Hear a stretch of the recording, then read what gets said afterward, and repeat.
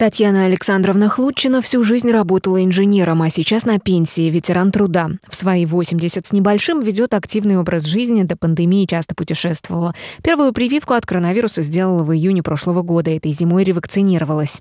Чтобы не заболеть, лучше сделать прививку, потому что в моем возрасте с моими хроническими болезнями мне именно сама болезнь навредила бы очень сильно – были бы последствия нехорошие, и поэтому я только Исходя из этого, я сделала прививку и всем своим друзьям и родственникам советовала.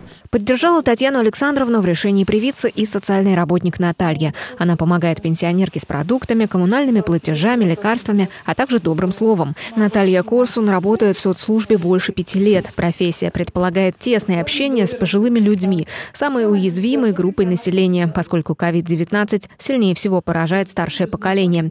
Поэтому прививка не только забота о своем здоровье, но и о здоровье своих подопечных, а их на обслуживании у Натальи 12 человек. Социальные работники Работники привиты сами и регулярно рассказывают о важности вакцинации пожилым. У меня э, практически все сделали прививки, э, за редким исключением, у кого э, в тяжелой форме сахарный диабет, это медотвод официальный, а остальные все привиты.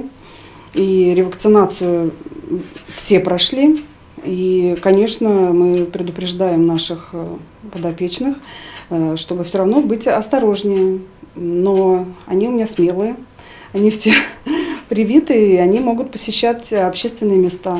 Вакцинация сегодня единственный действенный способ предотвратить тяжелую болезнь и выработать коллективный иммунитет, способный остановить дальнейшее распространение инфекции. Напомним, что 4 апреля в области пройдет единый день вакцинации. В Самаре помимо стационарных пунктов в поликлиниках привиться можно будет в пункте на базе областной библиотеки на проспекте Ленина. Пожилые люди при необходимости могут вызвать прививочную бригаду на дом, обратившись в поликлинику. Светлана Кудрявцева, события.